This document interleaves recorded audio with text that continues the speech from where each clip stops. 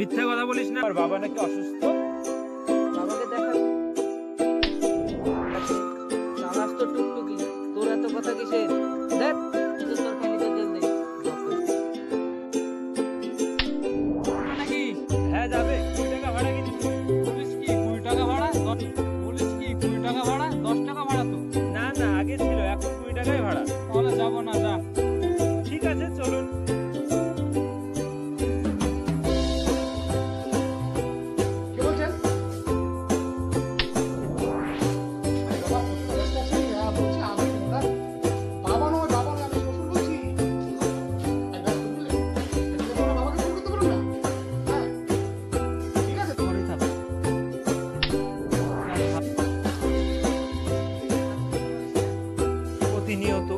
সবই মার খেয়ে আসছে অসহায়রা।